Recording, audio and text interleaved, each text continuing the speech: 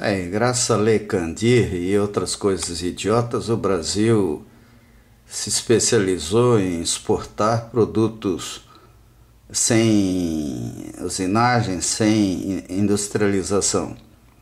Então a soja que ou soja que ocupa espaços colossais para produzir uma ninharia, né?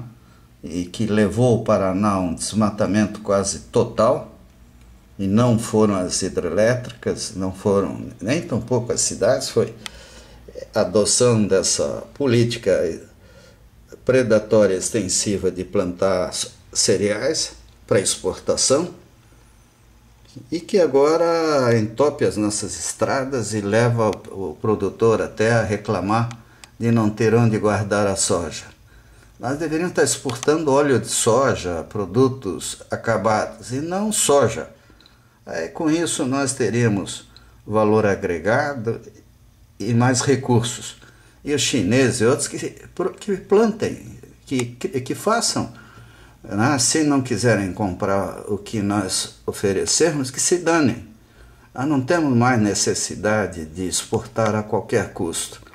O Brasil pode se dar ao luxo agora de reverter essa lógica de exportações, porque principalmente carne, soja, né, nós temos que agregar valor e dizer, olha, se quiserem, nós exportamos. Você não pode comprar lá da Dinamarca, da França, da Alemanha, provavelmente eles produzam isso em grande quantidade, o que podem ter, entender, podem ter certeza é pura ironia, porque não tem. Né? À medida que a humanidade, que a Índia, a China e outros países precisarem de alimentos, né? e à medida que esses caras ficam criando caso com a gente e, e criando dificuldades aos nossos produtos, nós temos que mudar a nossa pauta de exportações. Não vamos produzir, vender nada in natura. Né?